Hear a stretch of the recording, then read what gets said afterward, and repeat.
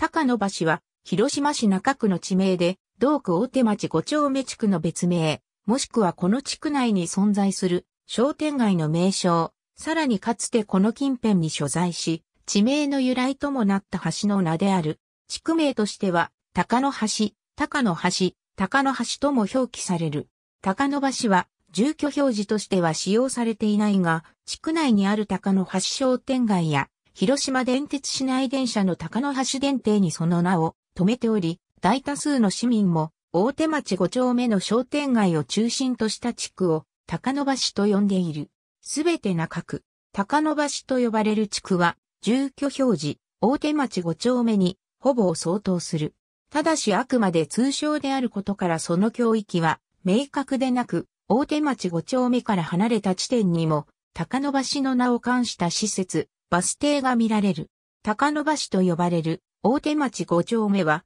国道2号線によって、大手町1丁目から4丁目とは隔てられており、国道2号線より、北の地区より、オフィス以外の住宅や住宅兼商店も比較的多くあり、商店も高野橋商店街として独自に発展してきた歴史がある。高野橋商店街は下町の商店街といった風情もある。また、大手町のうち五丁目だけ私立小学校の学区が異なっている。高野橋商店街近くのバタバタ像1930年頃の広島市、西連平城南側の神谷町交差点から南下する広電宇品線が東南方向にカーブする地点の近辺が高野橋地区である。原爆による火災消失地域、高野橋付近が全焼地域であったことがわかる。ルーエブラジル、日本で最初にモーニングサービスを出したとされる喫茶店で高野橋商店街で営業している。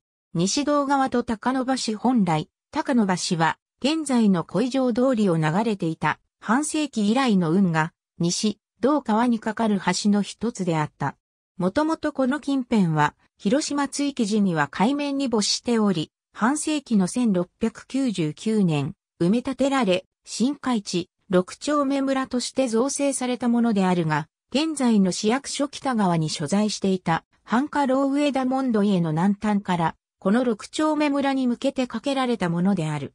橋の名はこの近辺に、藩主の高野が所在していたことにちなみ、当初は土橋であった。現在、かつての橋の後にはそれを記念するモニュメントが建立されている。その他、半世紀の1758年、城下の大火の後、バタバタ、という妖怪がこの界隈に出没したという伝説も残され、その記念碑も建てられている。市電開通と橋の消滅1912年の市電開通に伴う市街地の再開発により西道側は埋め立てられ、橋梁としての高野橋は消滅した。しかし、西道側にかかっていた三橋の位置に、市電の電停が設置されることとなり、神谷町方面から南へ、それぞれの橋名にちなんで、西道橋、マコモ橋、高野橋と命名された。このうち西道橋、マコモ橋両電停は、その後の解消を経て、中電前、市役所前となっているが、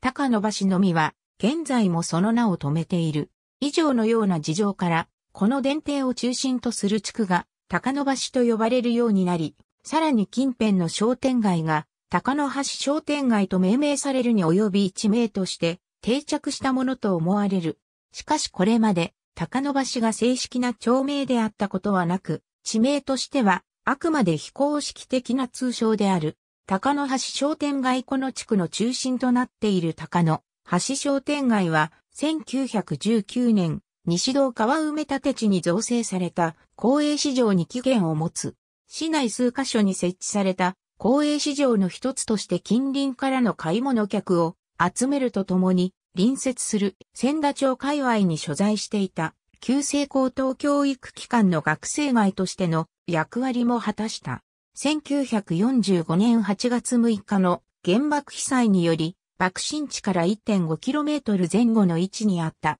町は瞬時のうちに全壊全焼し、多くの住民が犠牲になった。しかし、翌1946年には、公設市場が再開され、ほぼ復興が進んだ1953年には映画館が誘致された。商店街の中には記録が残っている限りで、日本で初めてモーニングサービスを始めた店、ルーエブラジルが2017年現在でも営業している。高野橋は市内では数少なくなった下町の雰囲気を残す商店街として現在も存続している。公共機関金融機関神社仏閣商店街、映画館鉄道バス道路橋梁をありがとうございます。